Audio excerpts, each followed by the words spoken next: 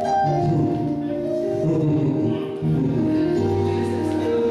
don't know about anyone in here who used to watch AT.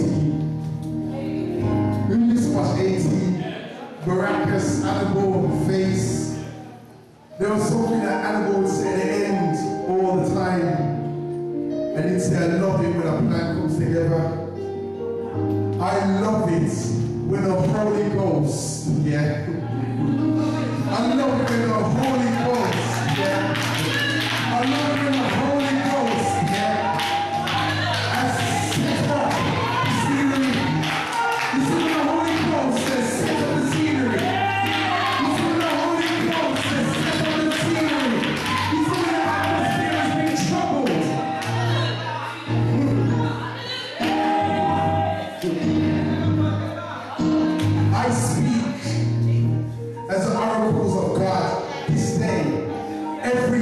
spirit must bow its.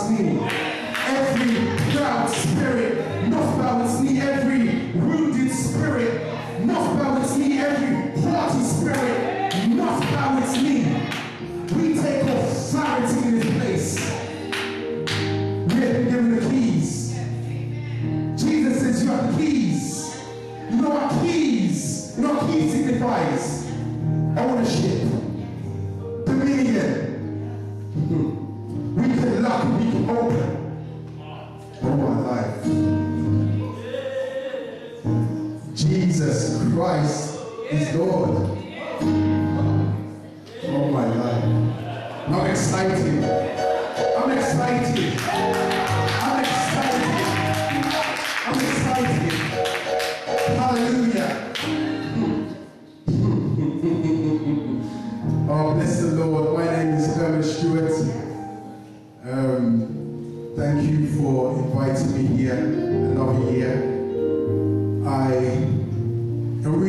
Privileged to be called to be a spokesman for the living God.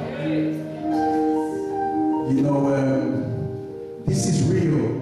My wife has got a thing and she has been saying it lately. She, she says, God is a living God. Do you know that God's a real God? That's what she was saying to me. God is a real God. Sometimes I don't think we understand that God really is a real God. He's not just a mystical God. He's not just a faraway God. He's not an idol God. He's not a God made out of wood or stone. He says he can hear and he can still reach out his hand and save. He's a living God. And we need to engage with living faith. Our faith can't be our grandmother's faith. Our faith can't be our brother's faith, our sister's faith. Our faith cannot be our pastor's faith. Our faith has to be our faith. And we have to be real with God.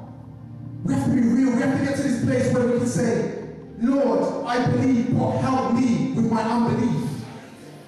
Help me with where I'm not believing enough.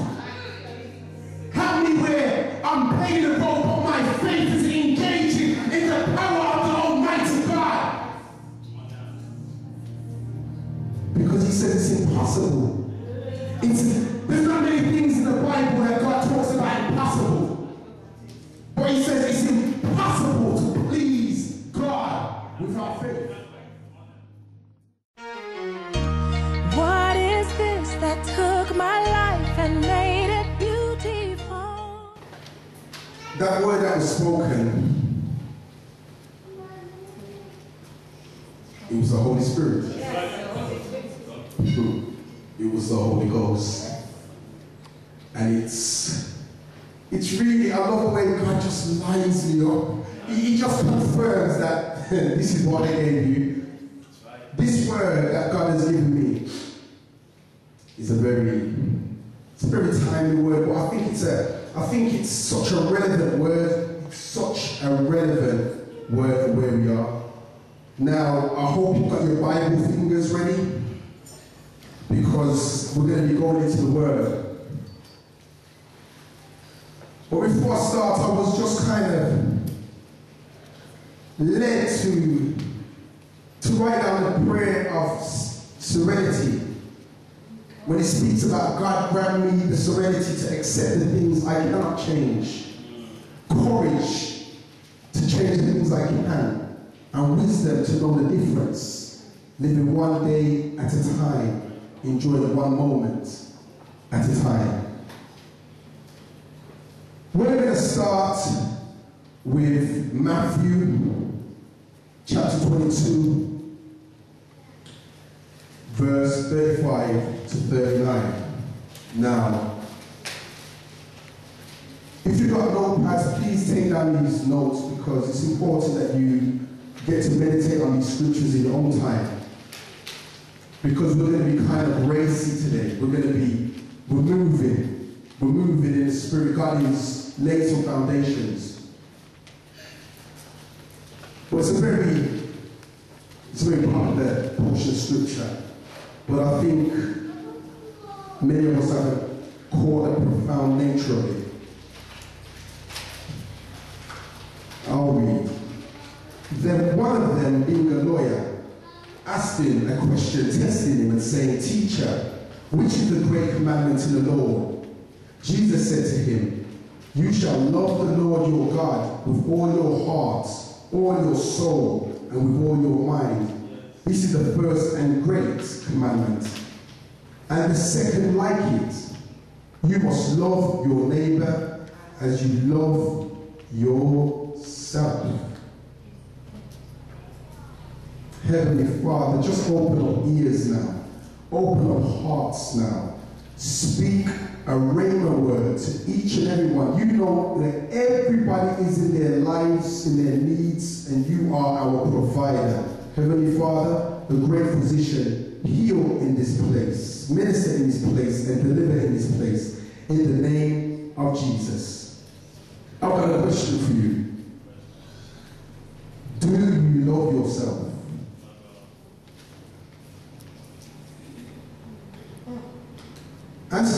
Answer the question to yourself. It's, it's really, it's an important question. It's an important question. Reflect. Do you love yourself? Poignant question. Come on now. Okay. You answer the question to yourself. And remember, Jesus says, I am the truth. I am the way and I am the life. He says that you shall know the truth, and the truth shall set you free. It's very important that we don't get church in here or say the things that you think are right to say. It's the thing that needs to be said. It's the truth, because it's the truth that sets us free. The truth may not be nice, but it's the truth. The cross wasn't nice, but it set us free. So it's important that when you have this inner dialogue, that you're real, because God cannot deal with lies. You have to approach in truth. It says spirit and truth. Okay. So you said you love yourself or you don't love yourself. Okay. We're going to look at Corinthians 13, the law chapter, verse 4 to 8. So it's 1 Corinthians chapter 13, verse 4 to 8. Listen to love. Love suffers long and is kind. Love does not envy, does not parade itself, is not puffed up, does not behave rudely, does not seek its own, is not provoked, thinks no evil, does not rejoice in iniquity, but rejoices in the truth, bears all things, believes all things, hopes all things, endures all things. Love never fails. Okay. I want to ask you a question again. Do you love yourself according to God's love? That's God's love. That's God's description of love.